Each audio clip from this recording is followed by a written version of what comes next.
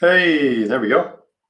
Uh, hey everyone. Sorry, I had to change my camera unfortunately. So, any which way, thanks, thanks a lot for inviting me and Sayan. I think we we are glad to be a part of this meetup, and and we'll be glad to talk about chaos engineering. I I see a lot of SREs who have joined in, so so it'll be fun to talk about chaos. So so let me just uh, share my screen. Give me a second. Is my screen visible to everyone?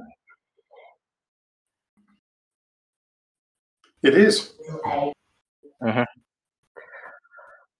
All right, folks. So as you can see, Litmus Chaos 2.0, I mean, uh, Litmus Chaos, we'll, we'll talk about the project later on. I think, uh, I mean, a lot of folks might be new to chaos engineering or, or might have already had an idea about what chaos engineering is. So we'll, we'll be talking about chaos engineering first, and then we'll, we'll be introducing Litmus Chaos to you folks. So, so it's, it's going to be a journey for everyone. But before that, uh, let me just introduce myself and, and then we, we can get started.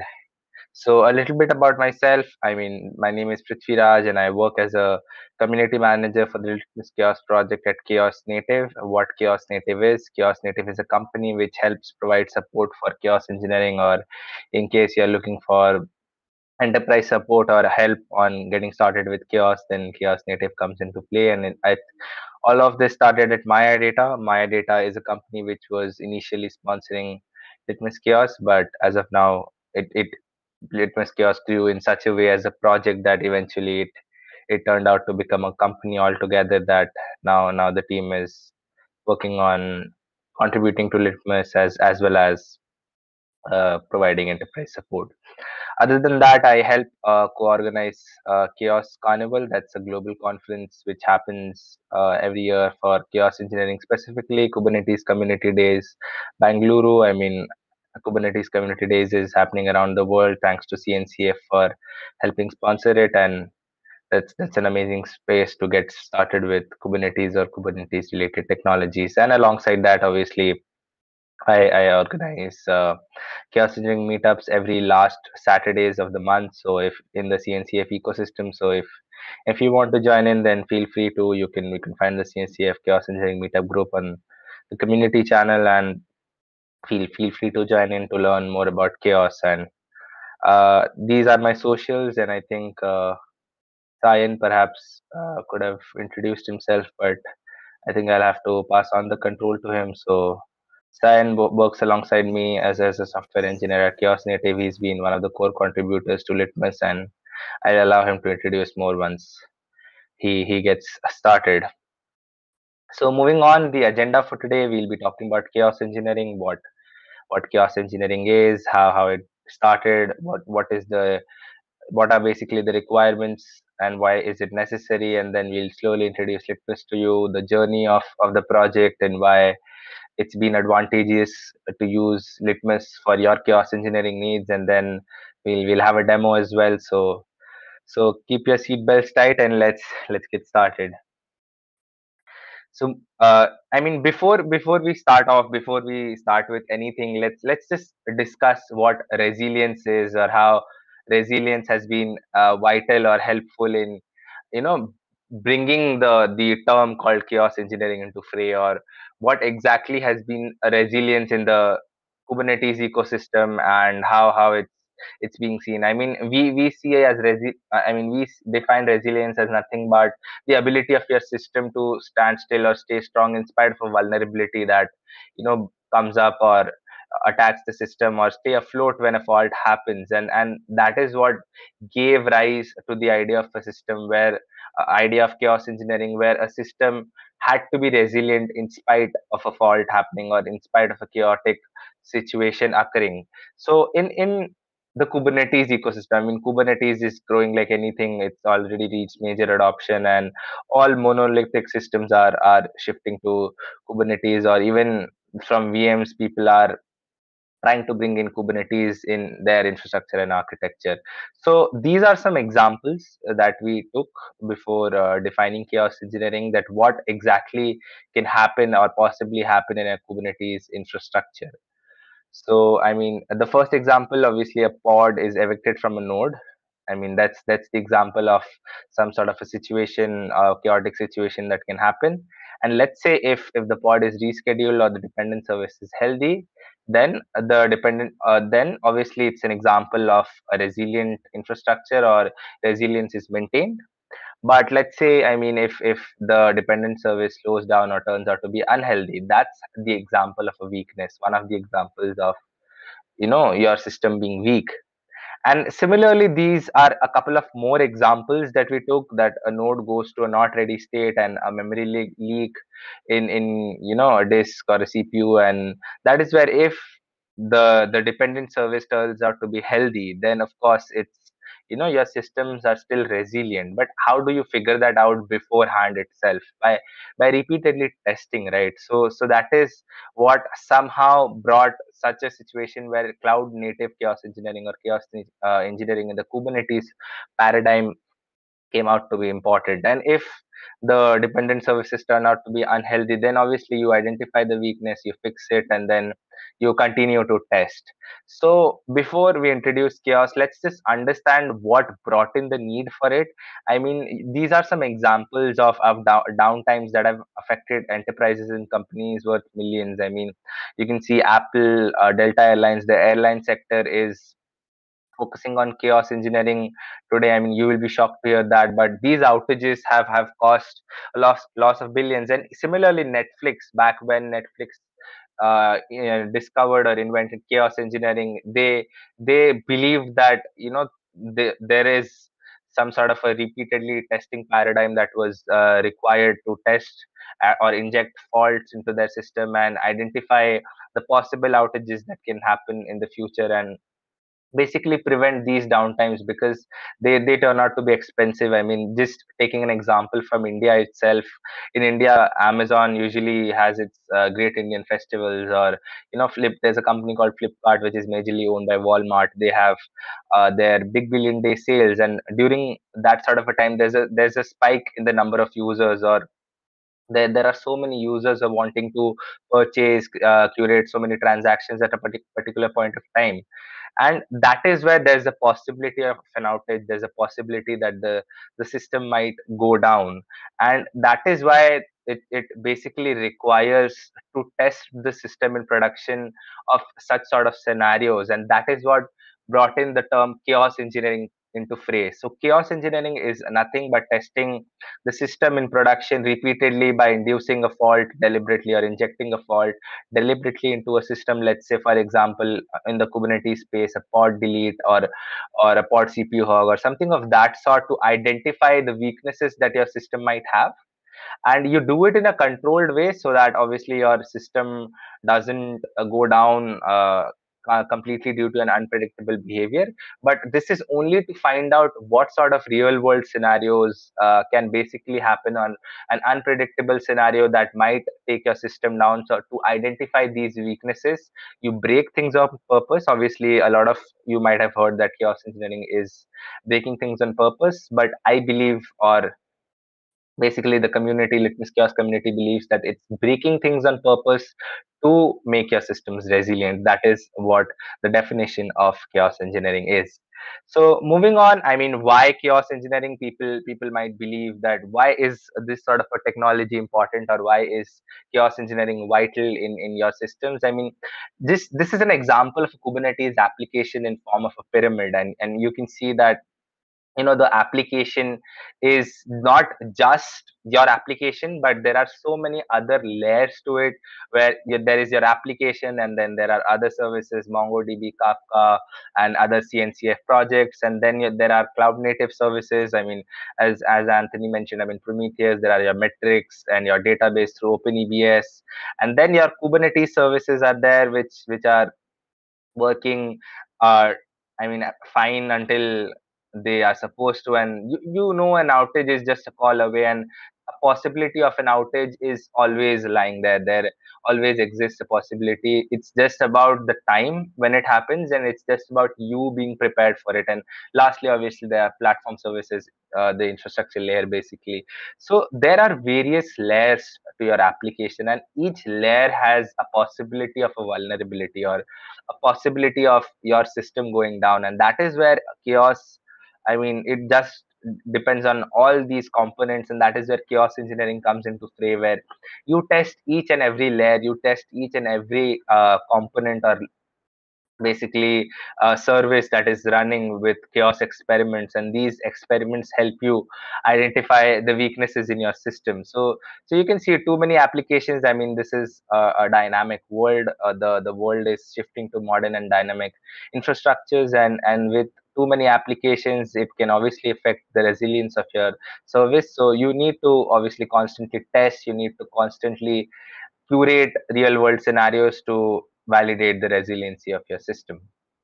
This is how basically that that is what laid the foundation of project litmus or basically bringing in chaos engineering to the kubernetes paradigm so i mean in the devops loop obviously on the dev side of things yeah so many tests that already is being done. I mean e2e test penetration testing qa validation and there are so many testing but i mean adrian cockcroft and there are so many people uh, who who brought in chaos monkey and started off this practice of chaos engineering to basically bring in the principle of the chaos first. That is why to wait for your systems to go down. Test from the beginning test initially to basically find out the vulnerabilities and chaos engineering is focused more on the ops side of things or, or, or the operation side of things where sres and usually it, it, it, it was initially practiced by mostly sres or security testers where where they they focused on reliability and brought in chaos engineering as a practice to validate their slas and slos and slis and then obviously slowly slowly the the paradigm is shifting towards the developer persona as well uh, as being a part of the community since the past one year. It's it's been it's been great to see that uh, even the dev persona has been focusing on using chaos engineering and test don't wait. I mean vulnerability can happen anytime so it's it's better you test your systems initially so this is how uh, chaos engineering is practiced in four uh, simple steps. I mean, before I move to this, I'll, I'll just take you through a link which talks about the principles of chaos engineering. So as you can see, this was a document formulated back in 2019 by and it's an open source document so you you can see it defines chaos engineering obviously as we did and how is chaos engineering practiced so they, it is practiced in four simple steps uh, or i mean there are advanced principles but if the four simple steps that we define is initially you start by defining the steady state of your system. What is the steady state? How is your system behave when it's functioning normally? And how is your system behaving in, in its normal state? And then you hypothesize around the steady state and you think about the real world scenarios. I mean you build a hypothesis around the steady state what is the output of the system when it's uh, showing a steady state behavior and then you think about the real world scenarios that can happen. I mean your servers can die there can be software failures hardware failures malfunctions or even non-failure events like I, I mentioned initially a spike in in user traffic. There is i mean take an example of netflix uh, a popular series comes out and there's a spike in traffic and that is a real world scenario where they need to scale they need to understand how to make their system scalable in spite of a spike in traffic. And then you run these experiments in production you run certain experiments chaos experiments in if you talk about aws then it can be an ec2 terminate or if you talk about vms then it can be a vm power off which can be a chaos experiment.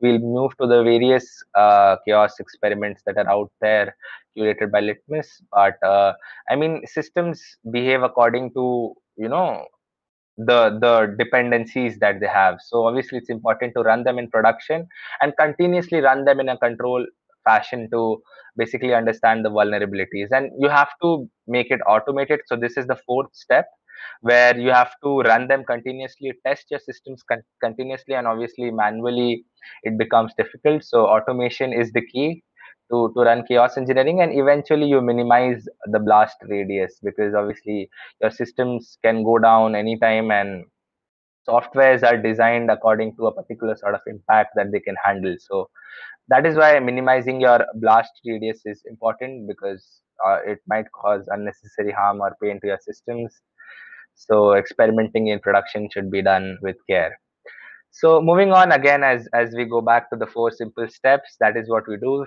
You identify the steady state, hypothesize around it, you run your experiments, and then you adapt accordingly, or so your systems adapt according to the chaos tests that are being run. And that is how your resiliency is built. So we'll go to a detailed workflow of how chaos engineering is practiced. You identify your steady state conditions. You introduce a fault and then are the steady state conditions regained if yes of course your systems are resilient but are they resilient against the other attacks that are possible of course not so you inject a new fault you continuously test and if there is a weakness that is found you fix it you introduce the fault again and the workflow goes on. So this is the workflow that we have defined for running a chaos engineering experiment and and and that is how basically you inject a fault into, into your system and curate chaos. So moving on how is it typically done. I mean there are so many folks who are already practicing chaos but as of now only, sres were practicing it and developers were not engaging into it. But since the past few months or since the last year we, we have seen that developers are engaging into it. Companies or enterprises organize game days where they run specific chaos engineering uh, experiments according to their application. What kind of a chaos test will fit their application? How is the system behaving when it's run? So the game days are being run by enterprises to identify such experiments and to jot down basically create a white paper around it and create an analogy based on the chaos experiments that are good for your system. I mean, people have rarely integrated it into the CI/CD, but make no mistake, chaos engineering should be run on all stages. We'll move to that, but on your CI/CD as well, chaos engineering has to be done. And observability i mean anthony gave such an amazing presentation on observability and how grafana is helping that. I mean it's it's not a commodity. It's it's it's required for each and every enterprise each and every uh, persona to come in and observe what is exactly happening. And i think when we move to the demo we'll be observing how chaos is happening in your systems and monitoring. And obviously logging is pretty important to identify where the systems are going down for how long the systems are going down down when the chaos is scheduled and what is the normal behavior of the system and when is it coming back up. So so this is how typically it's done and i think there's there's still uh, a cultural uh, stigma which which doesn't allow people to adopt chaos engineering practices i mean people still fear or the the infrastructure is not in place or the the uh, there's I mean, they they still uh, are not ready to allocate the money behind it. The, they believe it's costly or something of that sort. But but personally, I believe that uh, chaos engineering is a must, and it's already it's it was yet to cross the chasm. I mean, Kubernetes native chaos engineering yes is yet to cross the adoption uh, chasm but uh, i think chaos engineering is coming up into majority with uh, i mean companies like amazon netflix apple google all of them microsoft stressing on chaos engineering practices so so it becomes pretty vital for each and every infrastructure to be running chaos engineering tests so introducing litmus i mean litmus uh, it it started back in 2018 it started off as a project I mean, uh, to test another tool set, we were looking to test uh, a database tool set called OpenEBS. It's for cloud native data management. And we, we were looking for chaos engineering tools that were out there and none satisfied the maintainers, the initial founders of the project. And today it's a CNCF project. It's a CNCF sandbox project, hoping to move into incubation very soon. And it, its initial mission was to obviously help Kubernetes native SREs and developers to find weaknesses in, in, in their platforms and induce chaos engineering tests in a controlled way. But today, with Litmus developing in such a way, it's 100% open source, by the way, so you can uh, contribute to it. It, it inv- invites contributions. There are so many use cases that have come up from the fintech sector, from the banking sector, telco sector, which which have helped develop this project into work, uh, into working for various use cases that are out there, or various functionalities it can provide.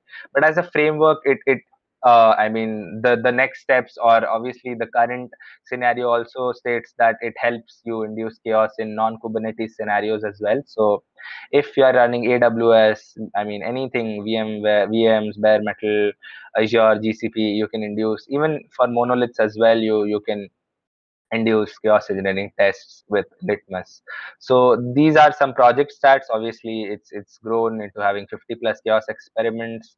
I mean that uh, it's almost reaching 500000 experiment runs and uh, 200 plus 200000 plus installations soon. So it's a, it's it's i mean i'll be sharing uh, the links but the project has grown since the past 3 years. And today i mean uh, there are so many people who have adopted from red hat to vmware to dell there there are so many folks that are running this project. So where in uh, the devops uh, cycle you can use litmus? I mean you can use in your dev ci pipelines you can run your tests in your staging pre-production production in your developer clusters. I mean you can run chaos everywhere. And you know chaos engineering is something which people believed is a luxury but it's it's a necessity today. So i mean I, I would love to invite folks to to run chaos engineering tests with Litmus anywhere and everywhere you want to basically make them resilient. So this is the journey of Litmus that I would like to talk about, and perhaps then Sayan can to- take over and give you a demo and perhaps we can answer some questions as well. So initially we created a chaos hub so and, and made it open source of course. So as you can see this is the chaos hub so i mean it, it's uh, it, it started off for kubernetes and you know there are so many experiments that are out there generic kubernetes experiments kafka based experiments cassandra openebs aws based experiments vmware coredns gcp azure and more to come i mean with with the project developing more there are more to come and it's open source so you can contribute your own experiments as well. So as you can see these are a few experiments and it's basically a marketplace to uh, pull in your chaos experiments. No other project provides that. So i mean that's that's obviously an amazing feature. I hope you find it amazing too. So you can see a few chaos experiments that are out there. Pod delete cpu hog container kill pod network duplication node io stress coredns pod delete. And there are so many more experiments. We'll be sharing the links as as the talk goes on. And that is what was created initially for users to pull in the chaos experiments easily. And then obviously there were custom resources that were created operators to help you run your chaos schedulers to help you schedule your chaos. When do you want your chaos to start? When do you want your chaos to end? And for how long it should function? And then obviously individual experiments slowly were created. But with 2.0 we wanted to create the expect uh, basically curate a better experience for for users. I mean we wanted to bring in a ui for you to visualize running your chaos. And basically it was also focusing on enterprises how teams are running chaos how multiple folks can run chaos scenarios focusing on monitoring and observability by integrating a dashboard and introducing a chaos center to manage all your all your chaos experiments from one particular point. I think we all go to that when we start with the demo, but calculating your resilience score, managing your workflows using GitOps and scaling them. So all these things plus creating a workflow. A workflow is nothing but automating your chaos by running multiple chaos engineering experiments together in series or parallel. Let's say you your application wants to run pod delete, pod CPU hog, pod memory hog together. So that can be curated in form of a workflow so that is where 2.0 focused in and it, it it has made the chaos engineering journey for a particular user so easy that you know it's it's uh, I, I feel stoked to see the community response behind it. So i mean these are a few advantages. I mean over time the community collaboration and community meetings and feedback the feedback system has helped uh, develop litmus. So it's open source of course so anyone can come in and contribute and the community feedback or community collaboration helps. I mean open source is the present and the future.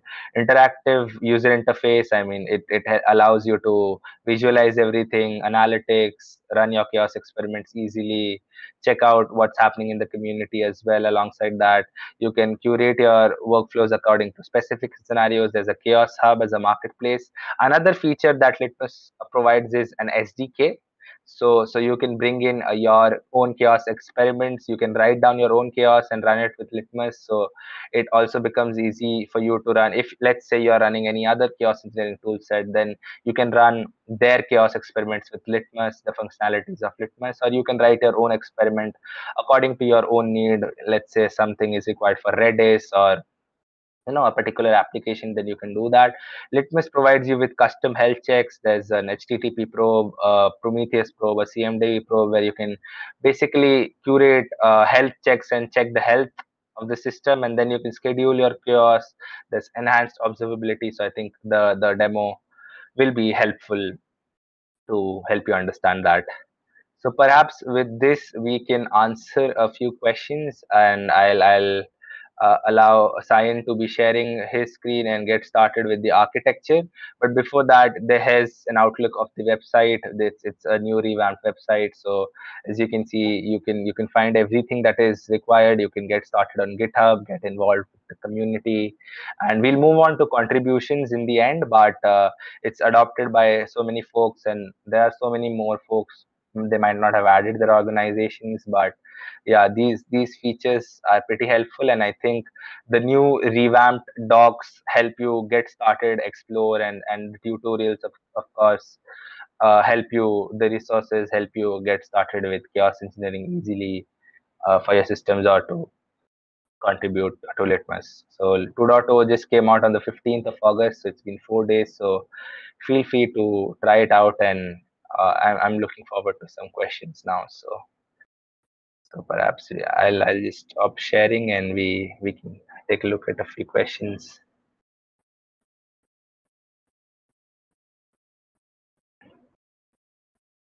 Chaos engineering is like a technical recovery plan. Thanks, Sudhir. Of course, it is. Is chaos engineering being adopted for security use cases too? Of course, uh, they are being adopted for security use cases as well. I mean, uh, giving a few examples, even uh, in, in, military i mean american navy is using chaos engineering for their security purposes. Or if you talk about the fintech sector then uh, chaos engineering is being practiced i mean for for the workloads to not go down. I mean in india at 9:15 the the stock market opens up and then it continues to till 3:30 so there's a spike in users and at that point of time there are possibilities of security vulnerabilities too uh, people hacking into their systems and basically going into uh, the, their databases. So what is important is to identify uh, how the systems behave and what exactly goes down when there are sec- security vulnerabilities that are possible, and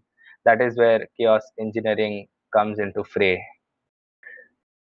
I hope uh, that answers the question. Is, is, are there any other questions? Perhaps I'm, I'm welcome to take them and then Sai Sayan can. We got somebody, we got somebody here. Uh, Ch- Charlie's asking if chaos engineering is being adopted for security use cases as well. Yeah, I, I just uh, answered that with uh, an example and i think uh, i mean I, as i mentioned yes chaos engineering is being adopted for security use cases to identify uh, what is exactly going down when security vulnerabilities happen. I mean let's say if, if people are these databases are going down or there's uh, there's a huge possibility of data leaks. So that that is where uh, chaos engineering is also coming into fray to identify vulnerabilities or uh, the systems going down and basically being part of the uh, use case what are the most common types of chaos people are using? I mean uh, there are so many scenarios uh, that people are using but if you if you talk about the most uh, common types of chaos that people are using i mean if you talk about from, from the aws point of view there's an ec2 terminate that people are using or let me just share my screen and and and share the the chaos hub with you all. Just give me a sec so, so as you can see, I think the most common uh, chaos types that are being run is obviously the pod delete experiment, the container kill experiment. I mean, in, in the Kubernetes uh, paradigm uh, ecosystem, obviously these generic experiments are being used the most, the pod delete, pod CPU hog, pod memory hog, and they are uh, aligned according to their usage. I mean, pod network latency, the network loss, they just want to I mean, create a, a, a chaos experiment in, in your network and you know see your network going down slowly. So so all these experiments are being run the most. And on on the aws side of things i think ebs loss by id and uh, uh, even on the VMware side, VM Power Off, these are the most common experiments that have been used. These are the latest experiments that have come up, the AWS and VMware based experiments. But as, as Litmus has already been part of the Kubernetes ecosystem since the past two, two and a half years. So obviously uh, these experiments are, are the most used. The top five to seven are used the most to curate scenarios, especially the pod delete. I mean, that's that's used at a different level. We have any other questions? Hey Prithvi, it's Scott here. Hey, um, I've got a bit of a question. You you touched on sort of culture early on. Um, what are you guys doing within sort of your business, or what are you seeing when you're going to to different clients as to how to tackle this cultural bias about avoiding doing chaos and chaos uh, experiments within their systems? Uh, thanks a lot. I think that's that's a great question. I mean, first of all, a lot a lot of folks out there are actually reluctant. I mean, even in the business side of things, I mean, there are so many people who who still feel that chaos engineering is not their cup of tea or is not a priority for them. If you talk about the e-commerce sector there are so many big giants out here in india itself and around the world who still believe that chaos engineering is not necessary for them. But to tackle this challenge i think uh, the the example the real world scenarios or the real world events that have happened and the adopters the adoption stories have uh, really helped tackle these scenarios. If i if i take an example of lenskart it's it's a global i mean it's it's it's going global but it's an e-commerce giant in india and they they were reluctant to i mean uh, adopt chaos but today they have become advocates of chaos and they have been writing blogs and articles and curating videos on chaos engineering. So i think uh, focusing on the cultural challenges identifying your system and running a few game days are pretty important. I think uh, curating a, a, dedicated poc behind uh, I mean, chaos, various chaos engineering tool sets that are out there. I mean, I, I no tool is bad. Every tool has some sort of functionalities which which benefit one sort of a, an application or ecosystem, and then running chaos test uh, in a controlled way initially, just you know, by the developers or the SRE persona, focusing on their SLAs and SLOs, and then uh, bringing the practice of chaos engineering as, as a starter and then slowly shifting their workloads to chaos i think helps in the cultural shift. But obviously it has to start with uh, checking out example stories and basically identifying that reliability is the major container challenge. I mean the cncf has tagged uh, reliability as one of the top container challenges uh, moving ahead. So i think identifying these challenges and then catering or basically bringing in the practice of chaos helps uh, enterprises make it as a practice.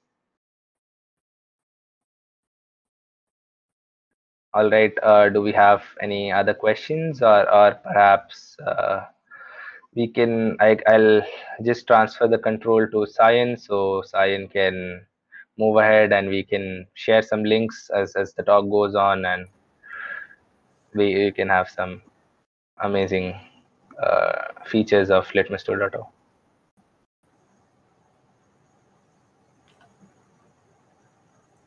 Sure, Prithvi, that sounds good. Uh, am I visible? Yes, I am visible. Okay, hi everyone. Uh, it's great to be here. And uh, like uh, Prithvi mentioned at the start of this talk, I am Sayan. I'm a software engineer at Chaos Native, and I've been working with this Litmus Chaos project for over a year, and it's been a great journey overall. So let me just quickly uh, share my screen. I'd like to share my entire screen because I'll be moving my controls here and there. So um, I think that is good. All right. All right. So let me just uh, start off with talking about this entire architecture that we have. And before that, since you already know about uh, chaos engineering and uh, Prithvi has also introduced you to Litmus. So now I'll be showing you the different components that we are actually using in this project. And also I'll be talking about the latest features that uh, we provide as uh, reason, like just to simplify the entire flow of chaos engineering. And so you will be starting from A to Z in the chaos workflow, and you'll be using these tools to make your uh, life in that entire chaos workflow much, much like you'll be having a lot less hassle if you do this. So be trying to show you in Litmus way. So to start off with, uh, we have this architecture diagram where we have the SRE or the developer persona at the very start. Now, since uh, we are moving to a dev persona as well, previously we were focusing more on the SREs. So now it's like basically a developer as well as an SRE both can focus on the chaos engineering principles and they can both try to do chaos workflows in whichever cluster they're on. It even works on the developer cluster in the dev cluster. Like let's say you have uh, kind or minikube in your system, then you can of course um, do chaos engineering there as well. So it's pretty flexible. And uh, also, if you see this diagram, uh, the, the certain persona is trying to run a pod network latency chaos experiment on their um, WordPress application. So they want to do some sort of a transaction in the database, in MySQL database, and they want to uh, inject a pod network latency uh, chaos experiment. So this entire workflow would be uh, situated in this uh, Litmus Center, which is the chaos center, uh, which you get once you install the product and that is like the central management hub where you can control everything of your chaos experiment and also um, we have these three components which is the authentication server which helps you do the onboarding pretty quickly. And also the mongodb where we use to which we use as a database to store all the events that are happening in the workflow.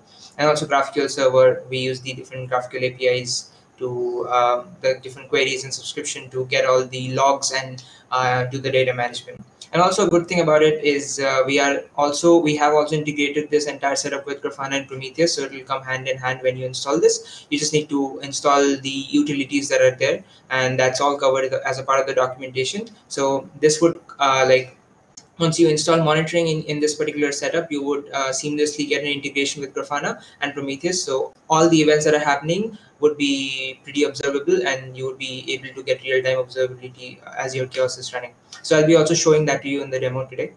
Now, um, if you move forward in the architecture diagram, you'll see there's a chaos agent, which is uh, the Golang um, logo there. So the chaos agent is actually someone which would specifically be the target or the target cluster where you want the chaos injection to happen. So by default, when you install Litmus, it picks the chaos agent is picked up as the cluster where it is installed. So let's say I am installing this on Azure cluster, then my Azure cluster will be picked up as my target cluster, or that would be the cluster where I'm running my application I want to induce chaos on. So that is the idea behind it. But you can also change this chaos agent and switch it to different uh, clusters. So you can move it around. You can have multiple chaos agents. Uh, what I mean by that is you can you can be sitting on Azure and you can target your uh, workflows that are running on AWS or GCP or any other cloud provider. So that is completely doable. You just have to shift the uh, chaos agent to wherever whichever cluster your application is running on. Uh, it can be namespaced. Of course, it can be a cluster-wide access too. So there's both scope availability as well. So um, moving forward, we have the chaos workflow CR, the experiment CR, and the engine CR. These are the resources that we use to construct the workflow, and this is all automated. So when you use the UI, you will just have to do certain clicks and the workflow the yaml of the workflow would be uh, created for you. Uh, uh like you can of course edit the yaml and do certain changes yourself. If you are willing to do that. But uh, you can also import an entire yaml but uh, this is sort of a flow of the ui that it would be automatically created for you and you can just apply that yaml via the ui itself. And chaos operator is another CR that actually helps reconcile all these things that I just talked about. And it um, like keeps a check that the cluster you're targeting is it available or not? And if the engine uh, is like it validates the engine properties that you have provided to it so like let's say the duration is correct or not whether the target cluster you're trying to uh, target is actually there. If the engine uh, properties like are you trying to force a chaos experiment on something which it's not uh, like it's not having the right policies or not? So these kind of different checks is handled by the operator and uh, that is basically the heart of the entire chaos execution plane. Now moving forward, um, these are the two core components that I just talked about. The chaos center being the uh, single source of truth of the entire uh, workflow management that we do. And this consists a lot of features which we are also going to see in the next slides. But just to brief it about, uh, we would be seeing things like multi-tenancy and uh, GitOps, and all these different features. Everything is controlled by the Chaos Center. That's why we call it as the single source of truth. And also Chaos Agent, like I just mentioned, uh, it can be, it is where you are putting which cluster you're choosing for your target or which cluster you're targeting, where your application is sitting that you want to induce chaos on. So now moving on to the different features that are provided by the Chaos Center, you can create uh, workflows, which would be like combining multiple chaos experiments uh, to formulate one single workflow. So it can have, let's say, pod network loss, pod delete, uh, container kill, or any such uh, chaos experiments that you want to uh, execute uh, in, in a single workflow. And there's multiple ways of creating it. As you can see, there's uh, creation from template, from custom workflow. This is basically you creating, you choosing which experiments you want to uh, induce and then you're just creating a workflow with this option and you can also do it uh, from pre-created YAML so we provide uh, three pre-created uh, workflows for you where it would just install the application as well as induce chaos on the application and gracefully delete all the uh, chaos resources that were created as a part of the process. So that is already handled.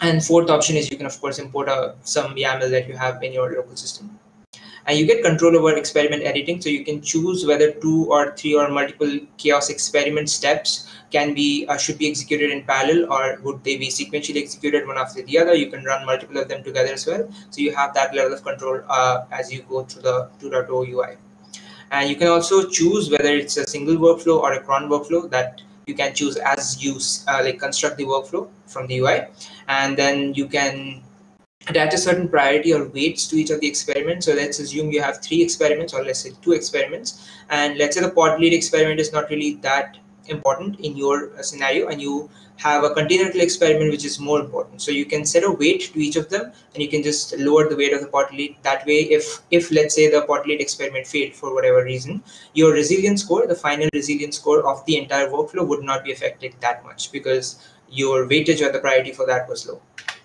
now moving on to workflow management, how we what are the features that help manage these different workflows is we have automated uh, the entire workflow with the help of GitOps, which we have another slide on, which I'll be talking on.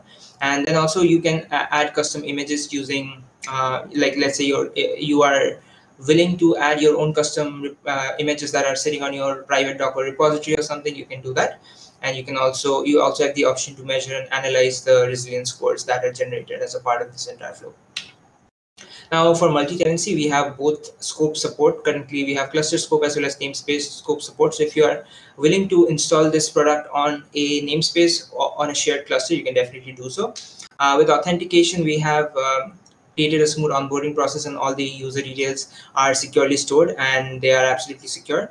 And uh, you also get role-based access control and you can create teams. So let's say you are running this uh, uh, chaos center on a certain cluster, your teammates might not have a cluster at all and you can create as, a, as an admin you can create multiple users and then you can share or invite them in your project and they would be able to access it from anywhere and uh, control your workflows. And it it will also be uh, different based on how much access you give them. So we have owner level access viewer or editor level access. So based on that we have a role based access control as well now for monitoring and observability, you can connect your own data source if you have one, and you can visualize these runs. We have a, a, we have an option to compare these workflows as well. So let's say you want to generate a report and share it between your teams. So you can select two or more workflows to compare. You can download a PDF and you can share them with your team, and you can upload your own dashboards as well. So you get a community uh, shared dashboard, or you you have your own Grafana dashboard that you want to upload. You can do the same.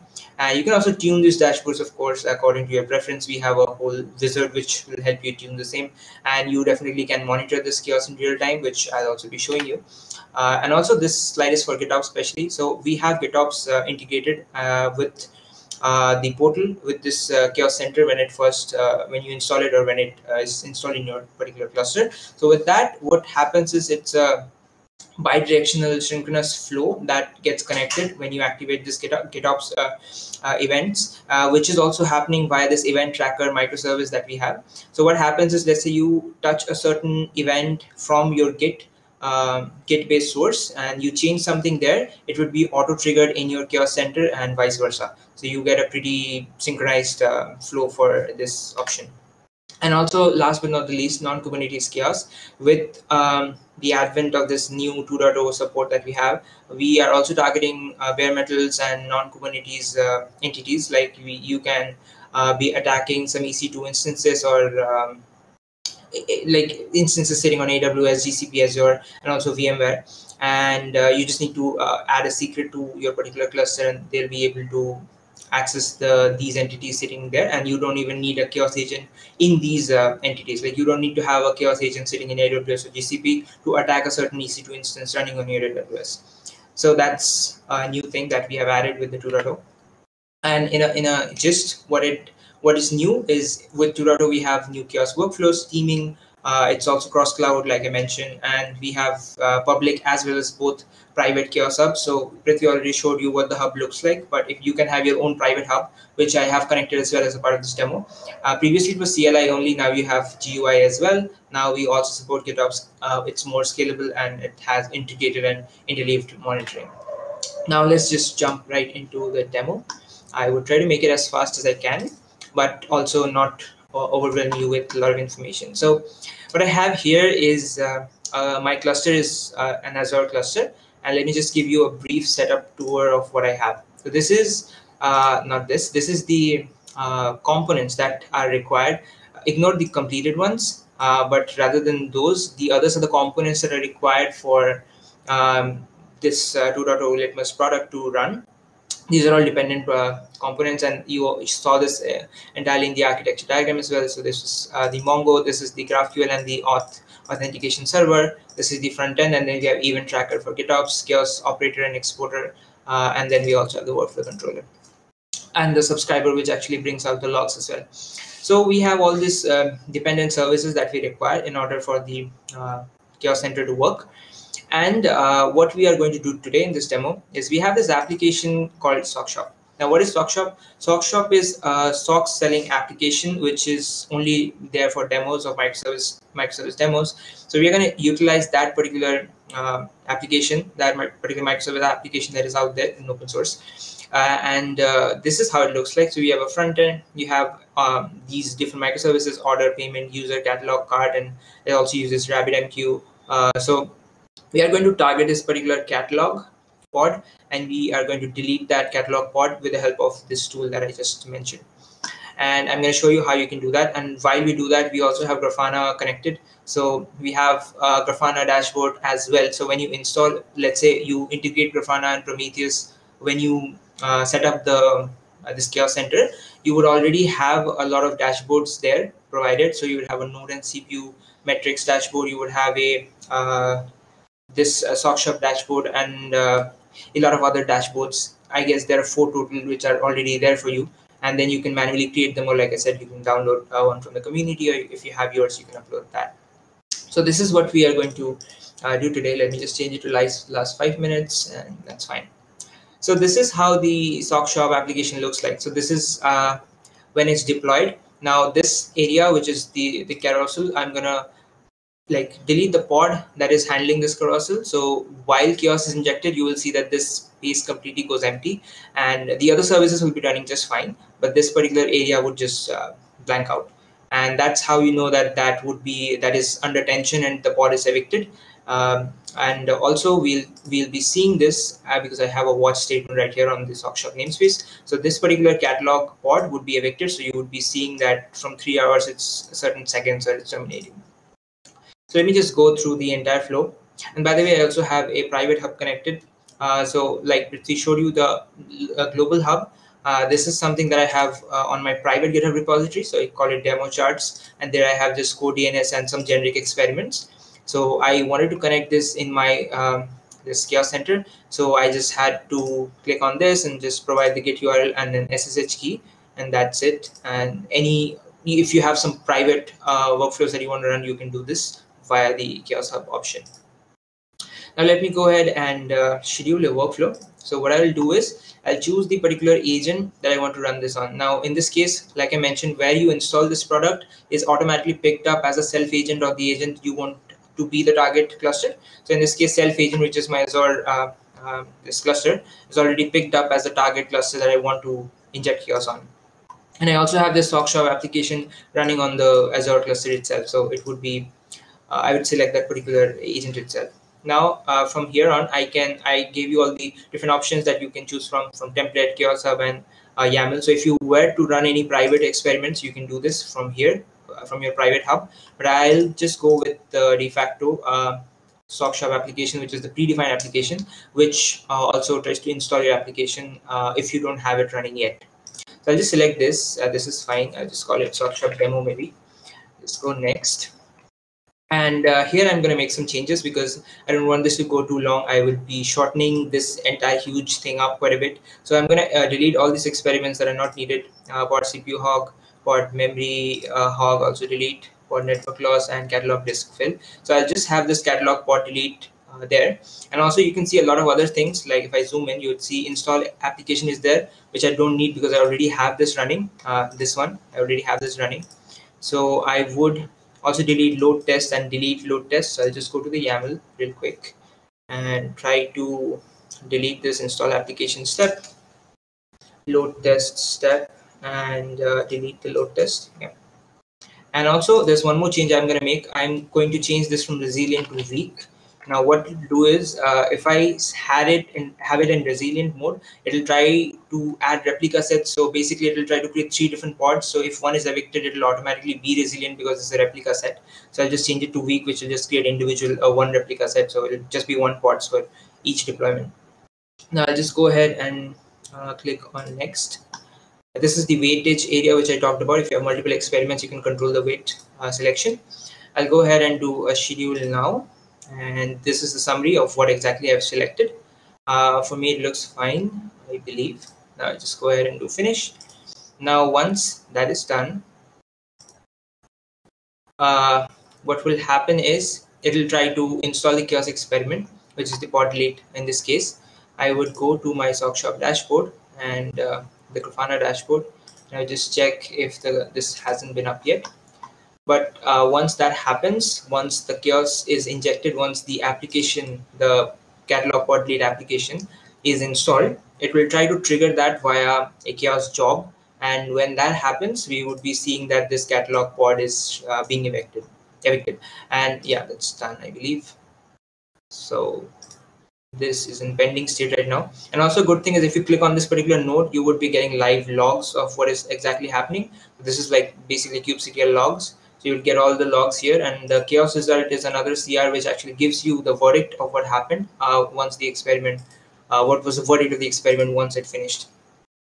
So this is still going on, okay. And if I go to the Litmus namespace, I can see my SockShop demo application is, uh, this is running.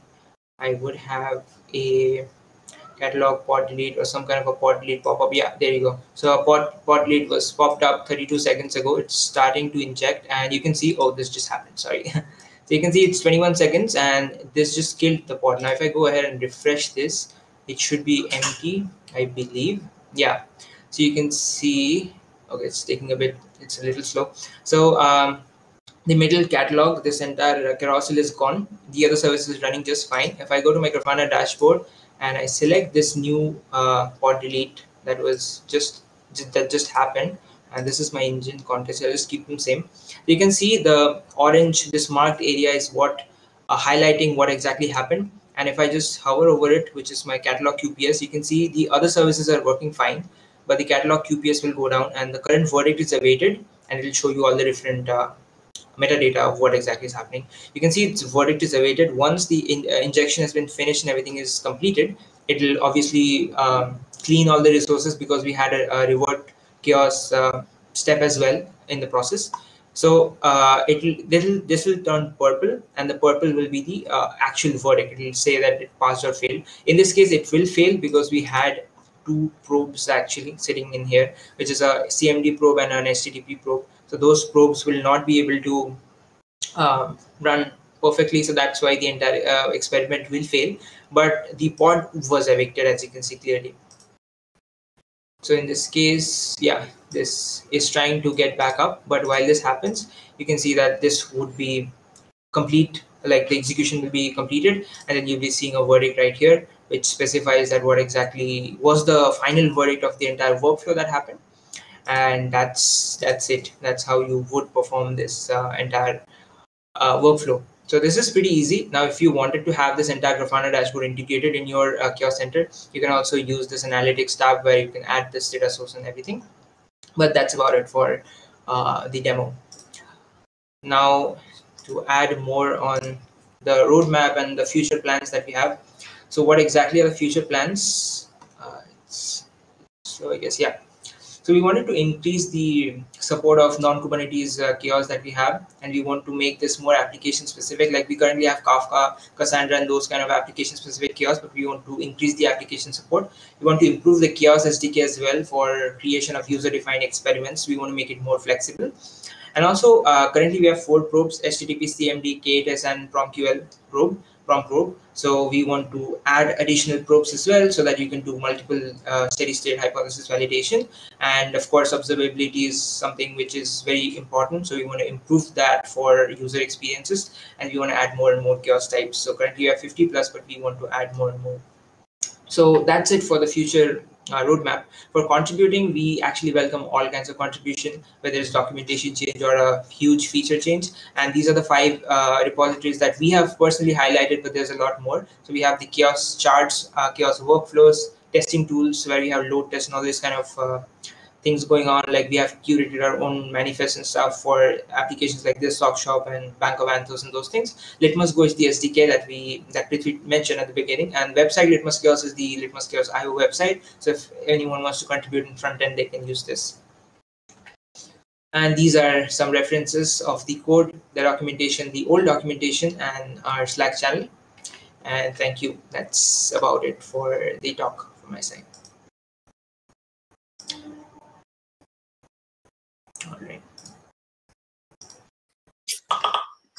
The demo gods were smiling on you there. I know we've got one uh, in here from Amia, I think it is, is asking about an example of um, GitOps uh, with uh, Chaos. Okay, so I can show this. It would be basically if you go to settings, there's an option to enable GitOps if you just come over here so currently it's locally in Litmus, which means it's using Mongo. If you click on GitOps repository, it'll ask you the Git URL. So I, I believe I have a demo uh, GitOps somewhere. I don't know if it still come up demo GitOps. Uh, it's somewhere around in GitHub in my GitHub uh, repository. So if you go over there, you just have to just uh, attach the URL and the branch, and then you can either use this SSH key and attach it to that repository as a uh, you know uh, you have obviously have to give your SSH uh, URL as well. And once you do that it will create a random uh, hash of the of a folder. It'll just create a random folder of the event that is happening. So let's say you create a workflow abc it will just do abc hyphen some random hash. And all the events happening in that particular workflow will be stored in uh, in that repository. So currently it will take some time for me to do the workflow that's why i'm just showing you how it's done you can just copy over this code deploy the key in your github repository and that should be fine Cool. Yeah. Um, Scott, Scott, Dylan, or Tom, any other questions from you guys?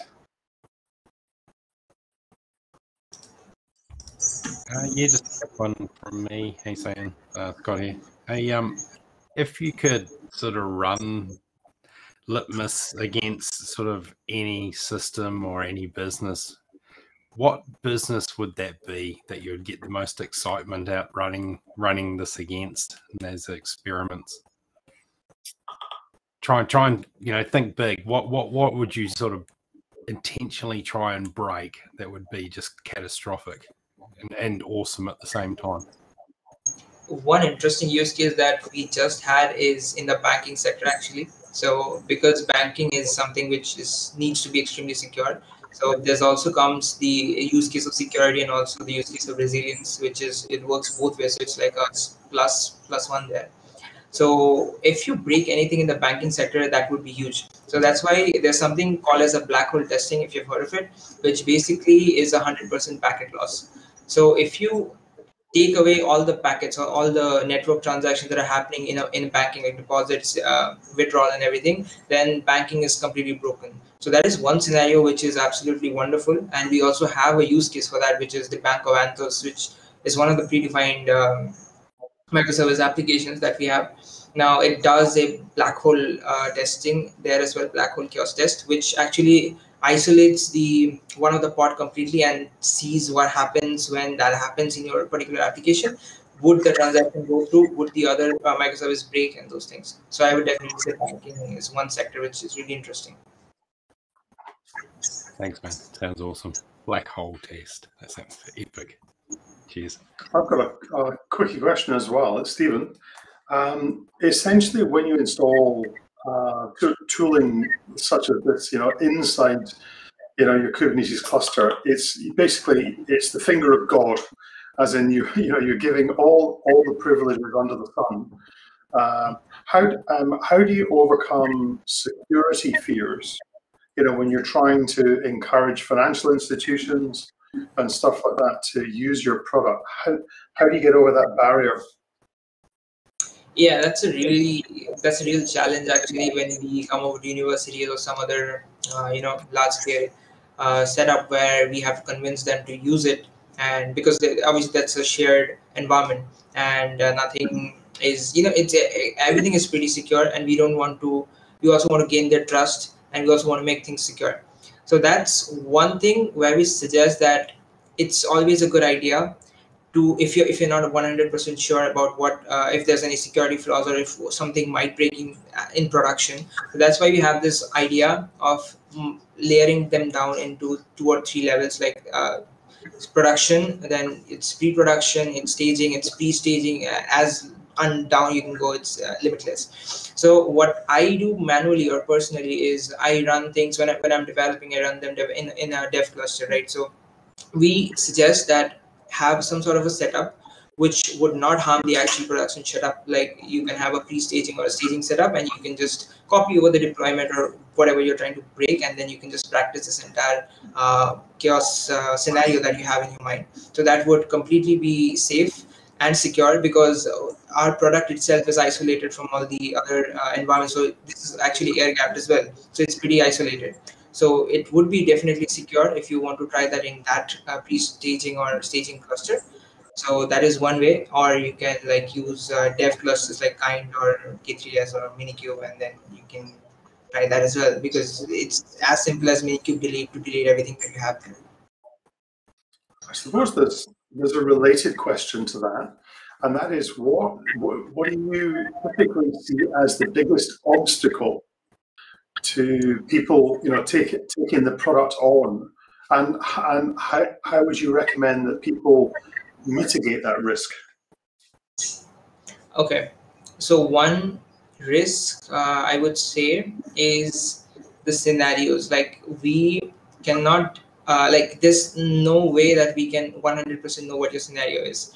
So we have some predefined experiments. We have a way of uh, creating the custom experiments but there's always these scenarios where a certain persona is trying to do certain abc task and they do not get exactly what they're looking for because they have to create it for themselves right? So that's one challenge because uh, as as chaos engineers we try to come up with different solutions that we can do to integrate them in in the in the manifest that we create for these injections so that is one thing. Now uh, one way to mitigate these changes are i would say like currently we use argo as a wrapper. So we try to curate argo workflows on top of everything that is the scenario and that helps actually connect the nodes connect the different argo childs or the children that are spawned as a part of these uh, workflows. So that helps us uh, curate any kind of experiment. We also obviously have to do some research around it as to what uh, might be the dependencies of the scenarios that you're trying to look forward to. So yeah as as a as a user for a certain scenario which is very you know uh, top of the line we have to uh, do a lot of brainstorming about what could be the solution. So that has definitely been one of the challenges but we have around 50 plus experiments only for the risk to mitigate this risk that people don't go there and try to find something that they did not find. That has been definitely one of the risks I suppose it would be a really good idea, I think, to make sure that you've got a regular operational monitoring system uh, on your clusters at the same time or like before. So at least you know what normal looks like from a cluster perspective. You know, to make sure that even though stuff is breaking, you've still got continuity of service according to your operational dashboard. Would that be a useful thing, do you reckon? Yeah, you can like you mean connecting a additional dashboard to what we already have. Yeah, I think just having you know having an, uh, an operational monitoring system that's already looking at you know at your cluster before you start to implement you know any chaos. So at least from a cluster perspective, you may have a degraded cluster, but you'll still have a dashboard that says that you've got continuity of service for your customers. Yeah, definitely. That would be definitely a, a big change, a big help. Uh, and also the exact requirement that you just mentioned to do these uh, operational checks we actually came up with these four probes that I just mentioned in the talk as well, like the HTTP and these other kind of probes, which have four modes actually, which is SOT, EOT, continuous, and edge. Uh, so if you do edge, it basically checks. It, it's a pre-check that happens both before and after the chaos injection. So that way you can do anything that you want. Let's say you want to check some kind of operational uh, um, you want to do some kind of Prometheus queries or something, then you can use the prom prom probe and you can put it in edge mode. That way, if you want to have any sort of uh, querying before the injection happens, you can do that. So that's the, that was the main intention of putting probes into the picture when we try to do this kind of chaos experiments. But that way, it will it helps currently like, like that. But if you want to have a separate dashboard completely monitoring this setup, then yeah, definitely that uh, would be recommended as well. Cool, thank you for that. Uh, guys, any um, any other questions before maybe Scott, Scott or Dylan will wrap up?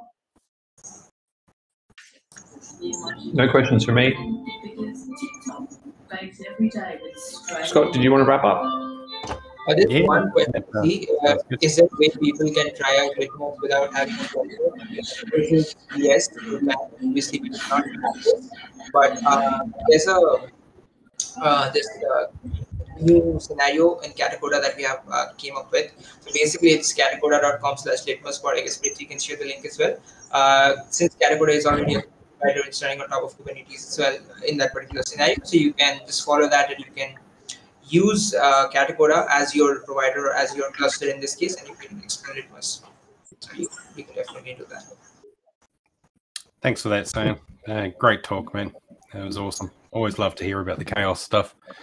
Um, also, thanks to uh, Prithvi and uh, Anthony, our, our talkers for tonight. All awesome talks, um, very good subjects, and it's nice to have uh, uh, another sort of meetup operational. And hopefully, we'll be bringing another one to uh, to you guys shortly.